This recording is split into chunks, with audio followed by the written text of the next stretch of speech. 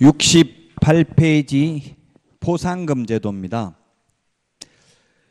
우리 뒤에 그 부동산 거래 신고 등에 관한 법률에 보면 포상금 제도가 92페이지에 나와 있습니다. 92페이지 7번에 똑같은 내용이 나와 있으니까 92페이지 7번을 같이 참고로 보시면 필기를 안 하셔도 됩니다. 92페이지를 보시면 자 그러면 92페이지에 있는 포상금 제도를 보겠습니다. 시험에 한 문제는 반드시 출제됩니다. 이 포상금이라는 게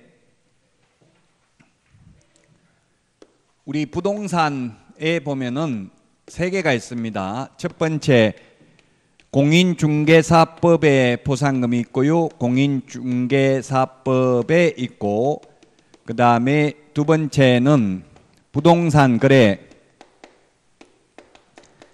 부동산 거래 신고 등에 관한 법률이 있고 그 다음에 주택법에 있습니다. 주택법에 있는데 공인중개사법에서 포상금 지급하는 게 세 가지가 있습니다. 첫 번째 무등록자, 무등록업자. 그 다음에 두 번째 부정한 방법으로 등록한 자. 그 다음에 등록증, 자격증, 양도 대여한 자, 양수 대여받은 자. 자격증, 등록증 빌려준 사람, 빌린 사람 다 마찬가지입니다. 그 다음에 부동산 거래 신고 등에 관한 법률도 역시 세 개가 있는데 첫 번째 거짓 신고한 경우 거짓 신고한 경우 포상금 주고요. 그 다음에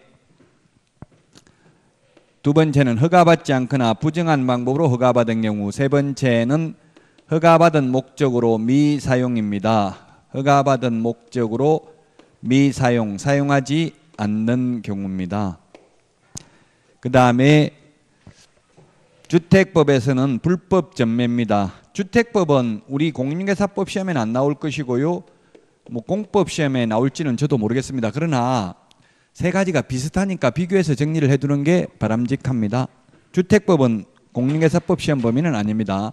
적발되면 무등록이나 부정한 방법으로 등록한 자는 3년 이하의 징역이나 3천만 원 이하의 벌금이고 양도 대여한 자는 적발되면 1년 이하의 징역이나 1천만 원 이하의 벌금이고요. 그 다음에 거짓 신고한 자는 취득 가격의 100분의 5 범위 내에서 가태료를 부과하고요. 허가받지 아니하거나 부정한 방법으로 허가받은 자는 2년 이하의 징역이나 100분의 30에 상당하는 금액 이하의 벌금에 해당되고요. 허가받은 목적으로 사용하지 않는 경우에는 10% 이행강제금 10% 범위 내에서 이행강제금을 부과합니다.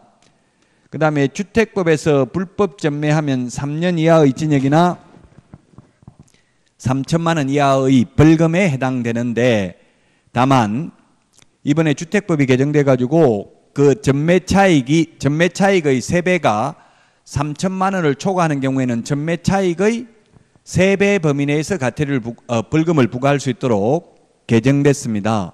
주택법에서 자 그러면 포상금 지급하는 걸 보면은 포상금 지급 사유를 보면은 이 공인중개사법에서는 공소제기, 공소제기 또는 기소 유예 결정이 있어야 포상금 받을 수 있습니다. 근데 부동산 거래 신고 등에 관한 법률에서 거짓 신고한 경우에는 과태료가 부과되어야 하고요. 과태료가 부과되어야 하고요. 예, 허가받지 아니하거나 부정한 방법으로 허가받은 경우는 공소제기 또는 기소 유예 결정이 있어야 되고요. 허가받은 목적으로 사용하지 않는 경우는 이행 명령이 있어야 됩니다. 이행 명령이 있어야 된다. 예, 주택법에도 있기는 한데 주택법은 뭐 시험 범, 시험 범위가 아니니까 생략을 하고요. 그 다음에 공인중개사법에서는 포상금이 50만 원입니다. 50만 원. 그 다음에 부동산 거래 신고 등에 관한 법률에서는 가태료 금액의 가태료의 20%가 포상금입니다. 다만 한도액은 천만 원입니다. 한도액은 천만 원이다. 자, 그 다음에 허가받지 아니하거나 허가받은 목적으로 사용하지 아니한 경우는 포상금 50만 원이고요. 주택법에서는 포상금이 1천만 원, 천만 원입니다. 천만 원 범위 내에 있습니다. 자, 그 다음에 포상금이 공인중개사법에서 포상금은 국고에서 50%까지 보조할 수 있습니다. 공인중개사법에서는 국고에서 50% 보조할 수 있다. 그런데 부동산 거래 신고 등에 관한 법률에서는 시군구 재원으로 충당을 합니다. 예, 주택법은 시험 범위가 아니라서 생략하겠습니다. 자, 그 다음에 공인중개사법에서는 포상금 지급 결정일로부터 결정일로부터 1월 이내에 포상금을 지급합니다. 부동산 거래 신고 등에 관한 법률은 접수일로부터 2개월 이내에 포상금을 지급합니다. 주택법에서는 신청일로부터 30일 이내에 포상금을 지급합니다. 자, 그 다음에 공인중개사법에서는 2인 이상이 신고한 경우와 두 건 이상이 접수된 경우가 있는데 2인 이상이면 균분, 두 건 이상이 접수되면 최초로 접수한 자에게만 지급합니다. 그런데 부동산 거래 신고 등에 관한 법률에서는 이 표현을 다르게 쓰고 있습니다. 2인 이상이 공동으로 신고한 경우와 2인 이상이 각각 신고한 경우가 있습니다. 2인 이상이 공동으로 하면 균분해서 배분을 하고요. 2인 이상이 각각 신고를 했다면 최초로 신고한 자에게만 보상금 지급합니다. 따라서 2인 이상 각각이나 두 건 이상이 접수됐다는 말이나 같은 의미입니다. 다만 법에 따라서 표현을 달리하고 있을 뿐입니다. 공인중개사법에서는 두 건 이상, 부동산 거래 신고 등에 관한 법률에서는 2인 이상이 각각 신고라는 표현을 쓰고 있습니다. 자, 다시 서브노트 69페이지로 넘어오겠습니다. 69페이지. 에, 교육제도입니다. 이건 우리 핵심 비교 정리 프린터 53번에 보면 교육제도 다섯 가지를 비교해 놨습니다. 이 교육제도 다섯 가지를 반드시 기억해야 됩니다. 한 문제 시험에 반드시 출제됩니다. 협회 내용이 엄청나게 많은데 그 많은 내용 중에서 협회 한 문제 나올까 말까인데 교육제도는 이 53페이지 핵심 비교 정리 프린트에서 한 문제 반드시 출제된다.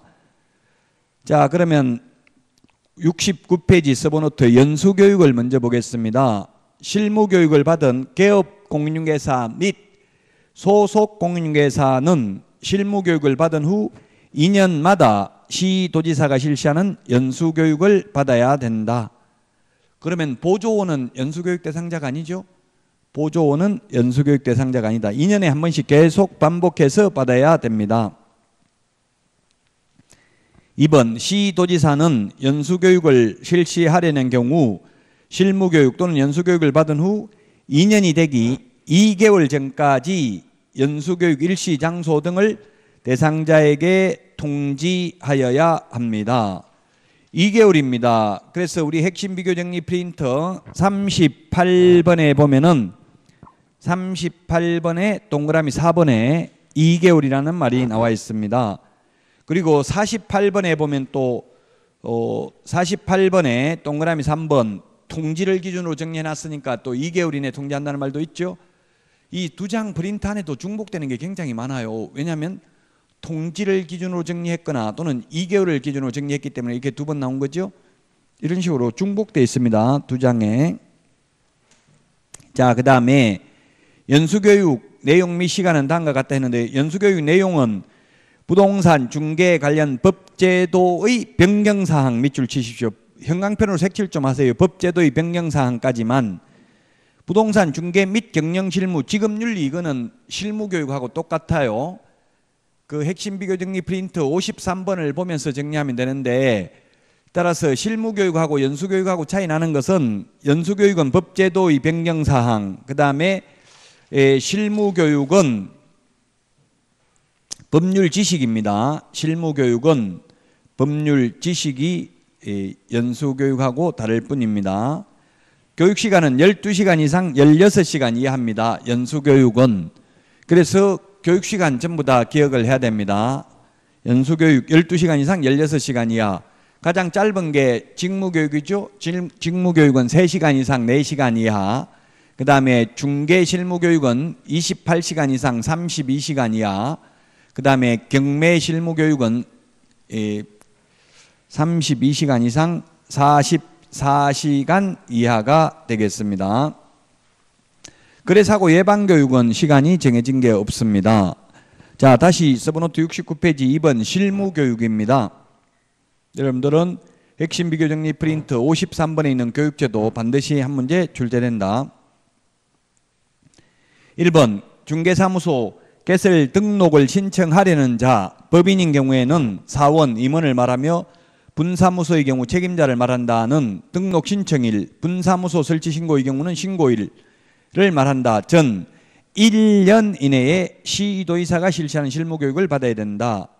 다만 다음 어느 하나에 해당하는 경우에는 그러하지 아니하다. 기억 폐업 신고 후 1년 이내에 중개사무소 개설 등록을 다시 신청하려는 자 니은 소속 공개사로서 고용관계 종료 신고 후 1년 이내에 중개사무소 개설 등록을 신청하려는 자는 실무 교육 받을 필요 없다. 자, 그래서 시험에 중개업을 담당하는 임원만 실무 교육을 받으면 된다. X죠? 모든 임원 사원 다 받아야 됩니다. 중개업을 담당하든 안 하든 자격증이 있든 없든 모든 임원은 실무 교육을 다 받아야 됩니다. 자, 그 다음에 교육의 유효 기간은 1년입니다. 1년. 그래서 가령 오늘 등록 신청을 한다면 등록 신청일 전 1년 이내니까 교육받은 지 1년 넘었으면 다시 교육을 받아야 된다는 뜻입니다. 그런데 10년간 중개업을 하다가 폐업을 10년간 중개업을 하고 폐업을 했다가 폐업했다가 1년 안에 다시 재등록을 하는 경우 실무 교육 받을 필요 없다. 교육받은 지 10년이 넘었다 하더라도 폐업 기간이 1년을 넘지 않았다면 또는 소속 공개사로 근무하다가 그만두고 1년이 넘지 않았다면 다시 교육받을 필요 없다. 왜냐하면 중개업을 하는 동안은 법 바뀐 걸 정확하게 기억할 수밖에 없죠. 그래서 법이 1년마다 계속 바뀌니까 그만두고 1년 안 지났으면 다시 교육받을 필요 없다 는 이야기입니다. 동그라미 2번 소속 공개사는 고용 신고일 전 1년 이내에 시도의사가 실시하는 교육을 받아야 된다. 다만 고용관계 종료 신고 후 1년 이내에 고용 신고를 다시 하려는 자는 그러하지 아니하다. 그만두고 1년 안에 다시 취직하려면 교육 안 받아도 된다. 교육 내용을 보니까 교육공개사 및 소속 공인중개사의 직무 수행에 필요한 법률 지식, 법률 지식 행황편으로 색칠 좀 하십시오. 아까도 말했지만 실무교육은 법률 지식, 연수교육은 법제도의 변경상 요것만 차이가 있고 나머지 부동산, 중개 및 경영 실무, 지급 윤리는 똑같습니다. 왜 이런 말씀을 드리냐면 시험에 연수교육, 실무교육 내용을 반대로 적어놓고 다음 중 틀린 것을 고르시오. 이렇게 문제 출제됐습니다. 교육 시간은 28시간 이상 32시간 이하입니다. 70페이지 직무교육입니다.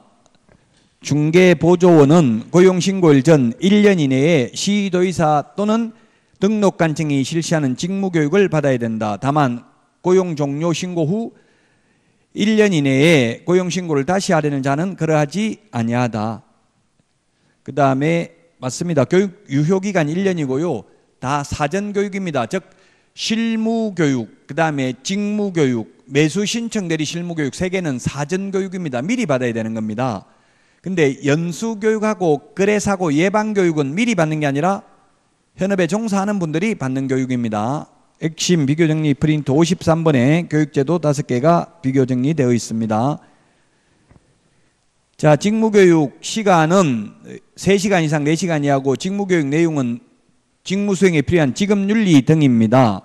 그래서 교육제도 다섯 가지 교육 중에서 지급윤리가 개용, 교육 내용으로 직접 포함되어 있지 않는 교육은 법밖에 없다고 했어요. 지금 윤리가 교육 내용에 직접 포함되어 있지 않는 것은 거래 사고 예방 교육밖에 없습니다. 나머지는 다 지금 윤리가 교육 내용에 들어가 있습니다. 거래 사고 예방 교육은 지금 윤리를 명시적으로 규정하고 있지는 않습니다. 자, 그 다음에 4번 교육 지침인데 국토교통부 장관은 시도의사가 실시하는 실무교육, 직무교육 및 연수교육의 전국적인 균형 유지를 위하여 필요하다고 인정하면 해당 교육의 지침을 마련하여 시행할 수 있습니다.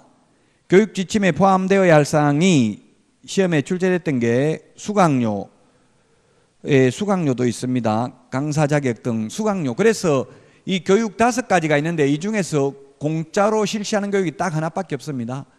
그래 사고 예방 교육만 공짜고요. 나머지는 돈 내고 받아야 됩니다. 여러분들이.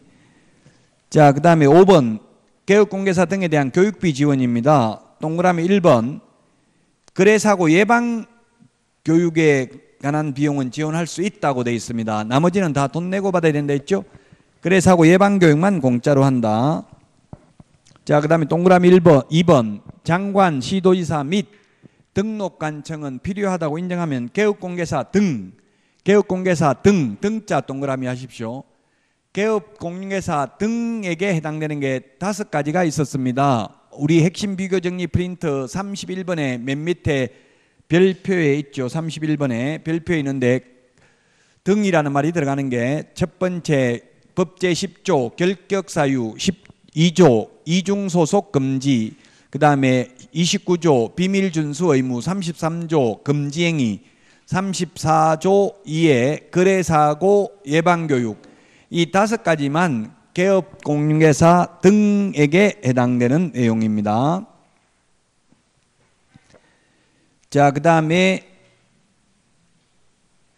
70페이지 맨 밑에 동그라미 4번입니다. 국토교통부 장관은 아, 국토교통부 장관 시도의사 및 등록관청은 부동산 거래 질서를 확립하고 부동산 거래 사고로 인한 피해를 방지하기 위하여 부동산 거래 사고 예방을 위한 교육을 실시하는 경우에는 교육일 10일 동그라미 하십시오. 10일 전까지 교육일 시 장소 및 교육 내용 그 밖에 교육에 필요한 사항을 공고하거나 교육 대상자에게 통지하여야 한다.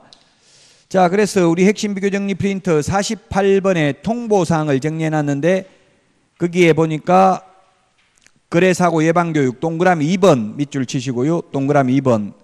그 다음에 40번에 보면은 또 10일을 중심으로 정리를 해 놨습니다. 10일에 40번에 10번 밑줄 치시고요. 40번에 10번.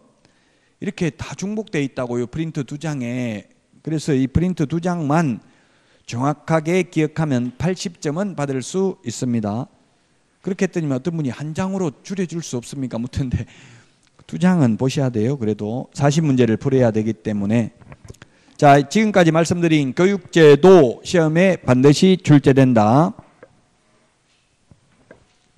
72페이지 벌칙입니다. 벌칙. 이 벌칙은 시험에 반드시 두 문제 이상 출제됩니다. 물론 두 문제 나올 때도 있고 세 문제 나올 때도 있고 한 문제 나올 때도 있기는 한데 평균 두 문제입니다. 자, 행정벌, 행정벌인데 이건 단순히 암기입니다.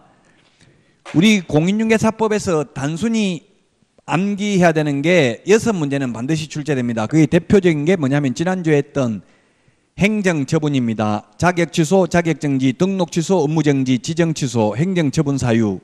그 다음에 두 문제, 행정 처분 두 문제, 행정 벌 두 문제입니다. 즉, 어, 3년 이하의 징역이나 3천만 원 이하의 벌금, 1년 이하의 징역이나 1천만 원 이하의 벌금, 그 다음에 500만 원 이하의 가태료, 100만 원 이하의 가태료, 이런 행정 벌에서 두 문제, 그러면 네 문제죠. 10점입니다. 10점. 거기에다가 그 우리 핵심 비교 정리 프린터, 어, 9번에 보면 계약서 필요적 사항, 10번 금융계약서, 그 다음에 6번 확인 설명해야 될 사항, 그 다음에 5번 전속 중개계약식 정보 공개해야 될 사항, 13번 실거래 가격 신고해야 될 사항, 요 다섯 가지에서 두 문제 시험에 나옵니다. 그러면 이때까지 말했던 게 총 여섯 문제죠. 단순히 암기해야 되는 거 여섯 문제면 15점입니다. 15점. 이것을 암기하지 않고는 고득점 할 수가 없지요. 그래서 15점이니까 다른 과목에서는 벌칙은 거의 시험에 안 나오죠. 근데 공인중개사법은 이렇게 벌칙이 시험에 나옵니다. 근데 이거 판사들한테 물어봐도 이 벌칙 암기하겠어요? 못하겠어요? 못하죠, 당연히. 판사도 시험 치면 이 공인중개사법 합격 못합니다. 그래서 판사들도 그냥 법조문 보고 밑에 다 그 재판 연구관들이 다 있어요, 실제. 그래서 판사가 재판 연구관들이 검토해 준 내용 보고 그냥 판결만 하지 판사들이 이게 다 암기할 수는 없어요. 그러나 우리는 암기해야 됩니다. 행정벌에는 행정형벌이 있고 행정형벌이 있고 그 다음에 행정질서벌이 있다. 형벌은 징역벌금을 형벌이라고 합니다. 징역벌금을 형벌이라고 한다. 징역하고 벌금을 행정형벌이라 한다. 그 다음에 행정질서벌은 과태료입니다. 과징금, 과상금, 가상금이 있는데 우리 공인회사법에는 과태료밖에 없습니다. 과태료. 자 그러면 행정형벌 가장 무거운 행정형벌에는 보면은 3년 이하의 징역이나 3천만 원 이하의 벌금이 있고 1년 이하의 징역이나 1천만 원 이하의 벌금이 있고 질서벌에는 500만 원 이하의 과태료가 있고 100만 원 이하의 과태료가 있습니다. 자, 3년 이하의 징역이나 3천만 원 이하의 벌금이 무, 부, 관직, 상투 이렇게 암기하도록 하겠습니다. 이는 반드시 암기를 해야 됩니다. 무가 무등록 중개업자, 무등록업자입니다. 무. 그 다음에 부는 부정한 방법으로 등록한 자. 그 다음에 이건 검쟁이죠. 분양 관련 증서 매매를 업으하거나 중개하는 행위, 의뢰인과 직접 거래하는 행위, 그 다음에 의뢰인 쌍방을 대리하는 행위, 탈세를 목적으로 미등기 전매 등 투기를 조정하는 행위입니다. 무부 관직 상투. 자, 그 다음에 1년 이하의 징역이나 천만 원 이하의 벌금인데 우리 서브노트 순수하고 제가 내드린 핵심 비교 정리 프린터하고는 조금 순서가 달라요. 우리 핵심 비교 정리 프린터는 21번, 22번, 23번, 26번에 있잖아요. 이게 행정벌에 대해서. 핵심 비교 정리 프린트는 저 혼자만 강의하고 이 서브노트는 저 혼자만 강의하는 게 아니죠. 다른 선생님들도 강의하시기 때문에 제가 서브노트는 법조문 순서대로 적어놨고요. 용어도 법조문에 있는 용어로만 적어놨어요. 서브노트는 모든 사람이 다 강의할 수 있도록 저만 알 수 있는 용어로 쓰지 않았고요.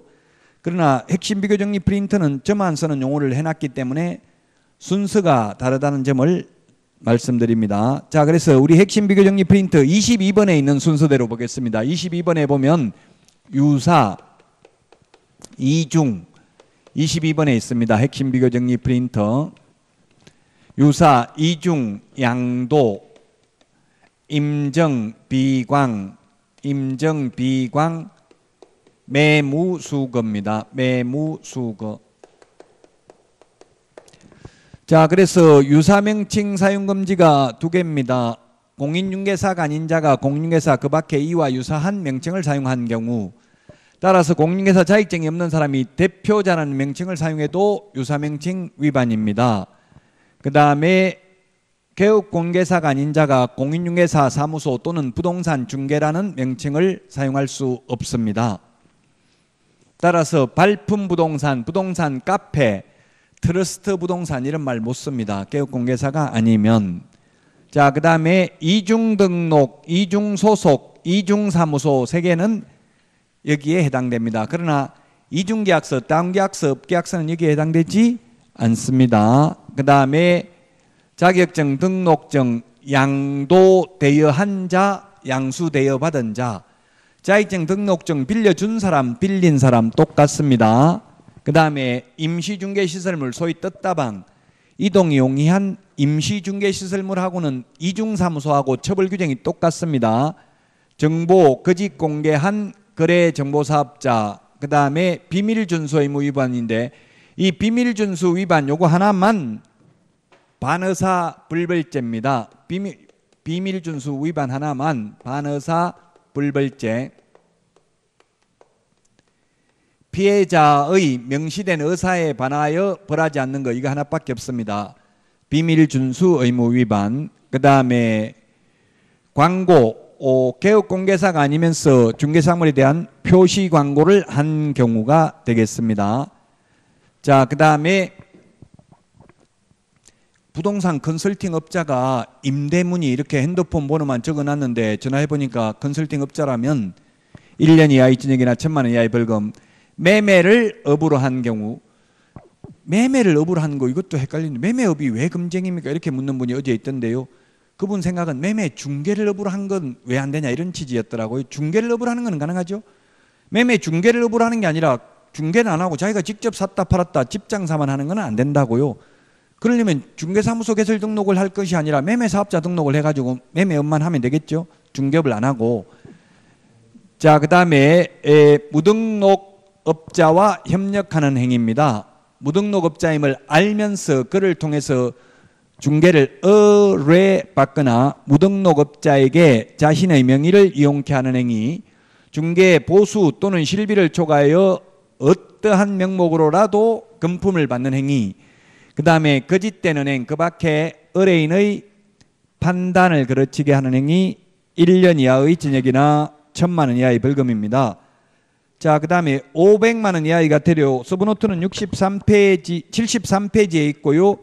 우리 핵심 비교 정리 프린트는 23번에 있습니다. 23번. 23번에 있다. 확 개운, 해공, 명령교입니다. 명령교, 확개운, 해공, 명령교. 자, 그래서 구체적 기준이 500만 원짜리가 있고요. 그 다음에 구체적 기준이 400만 원 대통령령에서 정하고 있는 구체적 기준이 법률에는 500만 원 이하라고 돼 있지만 대통령령으로 구체적 기준을 정하고 있죠. 이 구체적 기준의 2분의 1 범위 내에서 위반 행위의 동기, 결과, 횟수를 참작하여 가중하거나 감경, 늘리거나 줄일 수 있다. 그러나 아무리 늘리는 경우에도 법에서 정하고 있는 500만 원을 초과할 수는 없지요. 그 다음에 200만 원이 있고요. 그 다음에 100만 원이 있습니다. 자, 그래서 확인 설명도 하지 않고 근거 자료도 제시 안 하면 500만 원. 확인 설명하지 않거나 근거 자료 제시하지 않거나 둘 중에 하나만 안 하면 구체적 기준이 400만 원입니다. 자, 그 다음에 국토교통부 장관이 협회에 대해서 개선 명령을 했는데 따르지 않는 경우 운영 규정을 위반한 거래 정보 사업자 그 다음에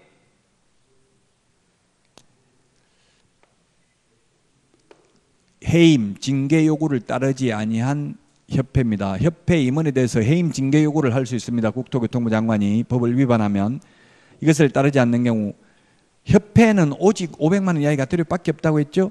협회 공개사업 운용 실적을 매 회계년도 종료 후 3개월 이내에 일간신문 또는 협회보에 공시하고 협회 인터넷 홈페이지에 게시하지 아니한 경우 감독상 명령을 위반한 협회 감독상 명령을 위반한 거래정보사업자 200만 원 구체적 기준 연수 교육을 안 받으면은 최대 구체적 기준 100만 원입니다. 확개운 해공 명령교입니다. 자, 그 다음에 100만 원 이하의 가태료. 100만 원 이하의 가태료는 우리 서브노트는 74페이지에 있고요. 그 다음에 핵심 비교 정리 프린트는 26번에 있습니다. 26번을 보시면 되겠습니다. 26번에 있는 순서대로입니다. 핵심 비교 정리 프린터 명칭 광 반납 보이게 휴. 자, 그래서 구체적 기준이 50만 원이 있고, 그 다음에 구체적 기준이 30만 원이 있고, 20만 원이 있습니다. 자, 그러면 구체적 기준이 50만 원. 원래 법에는 100만 원 이하인데 대통령령에 구체적 기준이 있고 구체적 기준도 시험에 나왔기 때문에 저는 무거운 거 순서대로 지금 암기하고 있어요. 무거운 거 순서대로. 그래서 서브노트 순서하고는 좀 다릅니다. 서브노트는 법 전문 순서이기 때문에 자 명칭 표시 개업 공인중개사는 공인중개사 사무소 또는 부동산 중개라는 명칭을 써야 되고요. 이를 사용하지 않는 경우 100만 원 이하의 가태료, 구체적 기준 50만 원. 그 다음에 소위 중개인은 자격증이 없기 때문에 공인중개사 사무소라는 명칭은 쓸 수가 없죠. 근데 공인중개사라는 명칭을 사용했으면 중개인 구체적 기준 50만 원. 광 여기도 광이 있는데 무등록 무등록자가 광고하면 1년 이하의 징역이나 천만 원 이하의 벌금인데 개업 공인중개사가 광고를 하면서 사무소 명칭, 소재지, 연락처, 성명을 표기하지 않는 경우는 100만 원 이하의 과태료고요. 그다음에 등록증을 7일 이내에 반납하지 않는 경우 50만 원입니다. 자격증을 7일 이내에 반납하지 않는 경우 30만 원. 손해배상을 보장하기 위한 보정 관계 증서를 교부하지 않거나 보장 금액 등을 설명하지 않는 경우 30만 원. 사무소 이전 신고 위반하면 옮기고 나서 10일 이내에 이전 후의 등록관 증에 신고하지 않는 경우 30만 원 구체적 기준이 개시 의무 개시해야 되는 게 뭐가 있었어요? 등수보호자 등록증 중개보수열표 보정설정 증명서류 자격증 원본 개시해야 되는데 개시 안 하면 30만 원. 그 다음에 6월 초가 무단 유업은 임의적 취소, 3월 초가 무단 유업, 폐업 신고, 재개 신고, 변경 신고 위반은 100만 원 이하의 과태료, 구체적 기준은 20만 원이 되겠습니다. 이 500만 원 이하의 과태료와 100만 원 이하의 과태료는 대통령령에서 정하고 있는 구체적 기준의 2분의 1 범위 내에서 위반 행위의 동기, 결과, 횟수를 참작하여 가중하거나 감경, 늘리거나 줄일 수 있다. 아무리 가중, 즉 늘리더라도 법에서 정하고 있는 500만 원을 초과할 수는 없다는 이야기입니다. 자, 그 다음에 거기 74페이지 가태료 부가징수권자가 박스 안에 있는데요. 이게 부, 부가징수권자 시험에 출제됐는데 자, 보면 알 수 있어요. 확인 설명과 관련되는 거는 등록 관청이 부가징수하고요. 그 다음에 개운, 해공, 명령 요건 전부 국토교통부 장관입니다. 협회와 거래정보사업자는 다 국토교통부 장관이 합니다. 그 다음에 교육은 누가 한 겁니까? 연수교육은 시도이사가 실시하는 거죠. 그래서 시도이사가 부과하고요. 그 다음에 100만 원 이하의 과태료는 원칙적으로 다 등록 관청이 부과하는데 자격증 반납은 어디다가 해요? 시도지사한테 교부한 시도지사한테 반납하는 거죠. 그래서 이것만 교부한 시도지사가 부과합니다. 과태료를 누가 부가징수한지도 시험에 출제가 되었습니다. 자, 거기 74페이지 서브노트 2번에 보면은 조금 전에 했던 말들 다 적어놨습니다. 이 가태료의 구체적 기준은 대통령령에 있고요. 지난주에 했던 업무정지, 자격정지의 구체적 기준은 국토교통부령에 있습니다. 시험에 위반 행위의 결과는 참작하여야 하나 위반 행위의 동기를 참작하여서는 아니 된다. X로 출제했습니다. 동기, 결과, 횟수를 모두 다 참작하여 2분의 1 범위 내에서 늘리거나 줄일 수 있다. 따라서 2분의 1이라는 표현이 우리 핵심 비교 정리 프린터 맨 마지막에 56번에 보면은 까만 별표 2분의 1, 3분의 1, 5분의 1, 10분의 1이 있는데 그 2분의 1에 동그라미 3번 자격정지, 4번 업무정지, 5번 500만 원 이하의 과태료, 6번 100만 원 이하의 과태료 4개 밑줄 치놓으시고요. 거기에 5분의 1에 보니까 3천만 원 이하의 과태료, 취득 가격의 5% 이하 과태료 이게 부동산 거래 신고 등에 관한 법률에 나오거든요. 이 두 개는 5분의 1 범위 내에서 늘리거나 줄일 수 있습니다. 지금 조금 있다가 부동산 거래 신고 등에 관한 법률을 할 텐데 이 부동산 거래 신고 등에 관한 법률에서는 5분의 1 범위 내에서 늘리거나 줄일 수 있습니다. 가태료 부가 징수 절차는 질서 위반행위 규제법입니다. 그래서 어, 법 이름만 기억하면 되는데 법 이름만 앞에서 우리 불법 간판 철거할 때는 철거 명령을 따르지 않는 경우에는 행정 대집행법이라고 했습니다. 행정 대집행법. 그 다음에 청문은 들을 청, 들을 문, 자격 취소, 등록 취소, 거래 정보 사업자 지정 취소할 때는 청문을 실시하는데 청문은 행정 절차법, 행정 절차법에 의해서 청문을 실시하고요. 그 다음에 가태료 와 관련된 것, 가태료 이신청 등 가태료 부과 절차에 대해서는 질서 위반 행위 규제법입니다. 질서 위반 행위 규제법의 적용을 받습니다. 법 이름만 기억하면 되고 법 내용까지 알 필요는 없습니다.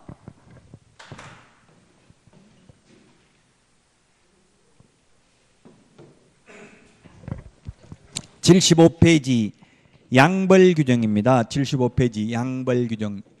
양벌 규정이라는 말은 양쪽을 다 벌한다 이 말이죠. 즉 직원이 잘못했을 때 그 직원만 벌하는 게 아니라 사장도 벌하는 게 양벌 규정입니다. 반대로 사장이 잘못했을 때는 사장만 벌하는 거지 직원은 벌하지 않습니다. 양벌 규정이라고 해서 시험에 그렇게 출제됐다고요. 개업공개사가 고의과실로 의뢰인에게 손해를 입힌 경우 그가 고용을 한 소속 공개사도 책임이 있다 하면 X죠. 소속 공개사는 책임이 없습니다. 사장이 잘못한 경우는 사장 혼자만 책임집니다. 사장이 진역 갔다고 사장 잘못해가지고 직원도 벌금 받을 수 있는 거 아니죠? 자, 그러면 75페이지 메뉴에 동그라미 1번 보니까 소속 공인회사 중개보조원 법인의 임원 또는 사원이 법제 48조 3년 이하의 전역이나 3천만 원 이하의 벌금입니다. 48조가 49조가 1년 이하의 전역이나 1천만 원 이하의 벌금입니다. 이 두 개를 묶어서 뭐라고 부른다고 했어요? 행정 형벌이라고 한다고 했죠? 이 행정 형벌에 해당하는 위반 행위를 한 때, 즉 행정 질서벌에 해당되는 위반 행위를 한 때는 양벌 규정 적용 안 되죠?